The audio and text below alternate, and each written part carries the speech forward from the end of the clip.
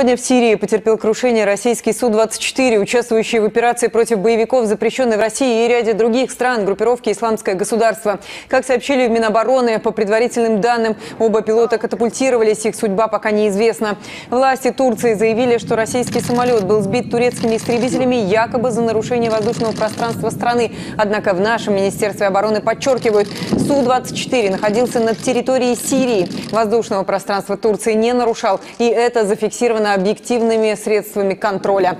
В ведомстве также напомнили, что Москва неоднократно подчеркивала необходимость координации действий всех сторон, участвующих в операции против террористов в Сирии. И у нас готово к эфиру заявление Владимира Путина по поводу сбитого в Сирии Су-24. Сегодняшняя потеря связана с ударом, который нам нанесли в спину пособники террористов. But today's event is the blow that has been given to us in our back by the accomplices of terrorists.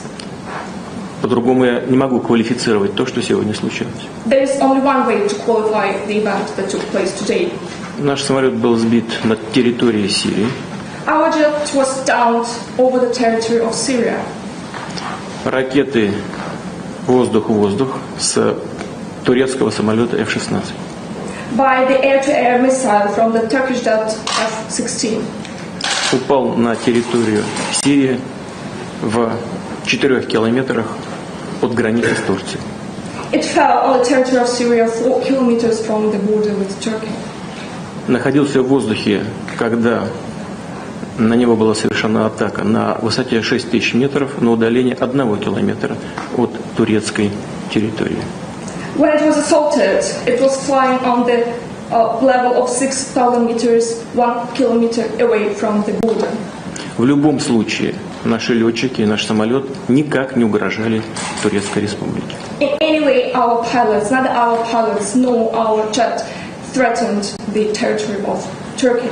Это очевидная вещь. It is an obvious thing. Они проводили операции по борьбе с ИГИЛ.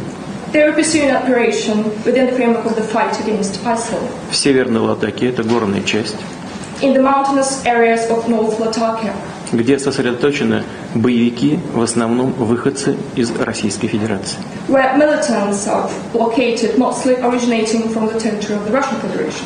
И в этом смысле они выполняли свою прямую задачу превентивных ударов по террористам, которые в любую секунду, в, любой, в любое время могли вернуться в Россию. And in this context, they were pursuing and carrying out their direct duty of making preventive attacks on those who might threaten Russia. И это, конечно, люди, которых напрямую необходимо относить к международным террористам.